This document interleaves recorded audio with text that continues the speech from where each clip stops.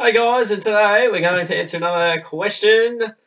And who have we got this week, matey? Let's guess. Oh, it's Dicko. Dicko HD, welcome back to the show. And he says, I'm back from the bye, my bye boy round boys. Can't speak. I'm back from my bye round boys with a hopefully good enough question for you guys to answer this week. Hopefully better than that sentence. My question is, do you guys believe that if Dangerfield stayed in Adelaide that he would be closer to becoming a premiership player or has his move to Geelong increased or decreased his, his chances of winning a premiership? And was better than that sentence. So It's a great question, though. it's very good and that's why you're on the show. So Yeah, exactly right. get So, rewarded. It was a good one. What do you reckon? It's really hard to say. I mean, it is like it's a great question. I'd love to give you a great answer, but I'll just give you some somewhat vague thoughts, and they're pro- probably just going to sit slightly on the fence. I'll try not to, but probably wherever Dangerfield goes increases the side's chance of winning a premiership. Wow. Like, if you know what I mean, it's like does the side influence him, or is he that good? At, like he's come to Geelong, and you could argue he's brought us from you know top six chance or fifth or sixth chance into a top genuine top four chance. So, which as we say, you got to make top four to win a flag. So, how much of control does he have? We've seen him leave Adelaide, and all of a sudden they're you know they're doing fine. Um, Who's closer to a flag? I mean, I guess basically the question: who's closer to a flag, Geelong or Adelaide? Uh, it's really hard to say. I, I don't really know. I mean, right now, Adelaide, you'd have to say they are the form team of the comp. So right now, you'd probably say slightly to them, but I think there's a massive stretch to go, and I think it looks likely that um, Adelaide and Geelong will feature in the top five to six teams. Yeah, Um, hopefully. And I guess Danger didn't just come along to win a flag in 2016. He Yep. would have had an eye towards, you know, he wants to win one this year, but he would have an eye to the future and, of course, all the other decisions he came in to make that call. But, you know, I, almost can't say. I mean, you almost feel as if right now Adelaide are closer to winning one this year just on form.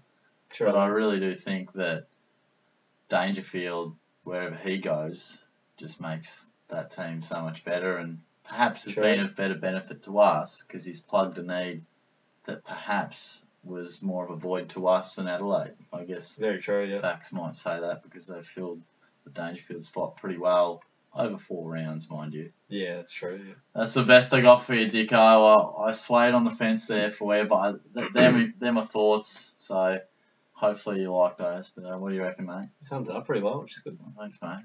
Hey, you're welcome. Uh, yeah, it's very tough to say. It's nearly impossible to answer, but oh, yeah, I can't disagree with what you're, you're saying, mate. I, I think currently uh, Adelaide looking very good, and maybe they're better equipped to win a premiership maybe this year, but that's off four rounds. Mm. Um, I do I do believe though that the game plan they had throughout the preseason and Don Pyke's in, introduction has been fantastic. Mm. They've uh, really had an exciting attacking brand of footy, but they've been defensive as well. Uh, their skills really good. Their structures are very well cemented as well, and that that'll certainly help them no end. And like when I look at it, if I'm looking at coaches, new new new coach Don Pyke, good side. I've like I've rated Adelaide for a long time. I think n- nah, hardly anything changed from 2012 when they finished top two and they didn't make the finals in 2013. So I don't really know what happened mm. there. There wasn't many players that just sort of went. They just sort of fell off the perch, or the competition just increased. They did have a nice draw in 2012, but yeah, when I look at it, Don Pyke versus Chris Scott, I think oh, Scotty's going to get probably get out coach from say a Don Pyke in this instance. So Mm. which leads me to believe that they would finish further in September if we were to both make it in theory. So yeah, it's very tough. Yeah. if I look at it from a coach perspective, I think Don Pyke will beat us. Mm.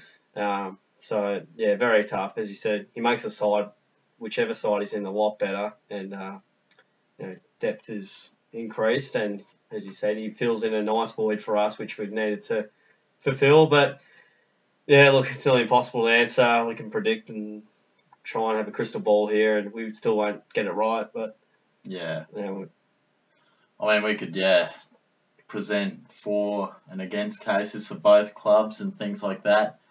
And then you could quite easily take either side. I guess that's how close it is. Yeah. Look, Yeah. look, going, going by recent performances from Geelong and what we can expect from them, what they can do. Um, yeah, maybe Adelaide, but it's a long season. It's a bit of a marathon, so we'll wait and see. Uh, let me just have a relook at the question. Yeah, premiership player. So you're talking about over a course of time, I guess. So Mm.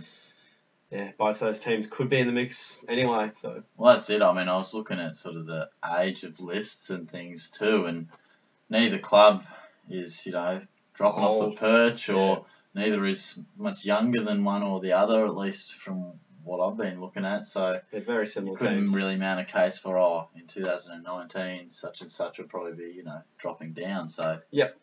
Mm, Intriguing. Yeah, that's about all I've got for you as well, Dicko. Um, I think we're both probably sitting on the fence here with that answer, but probably leaning more towards Adelaide at this current stage. Can Yeah, I ask Dicko a question? Yeah, yeah, I would say leaning towards, at least for, say, Now. like this exact point in time, after four rounds of footy. Uh, yeah. Yeah. Ask And me you in five weeks, but. Yeah, you got a question for Dicko? Where's the videos gone, mate? I know he slightly answered it on text style, but Yeah. I don't know. I just give us some feedback, Dicko, on.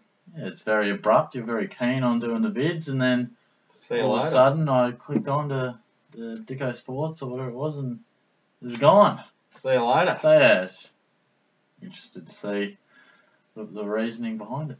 Okay, there you go. There's your question, Dicko, and there's your answer.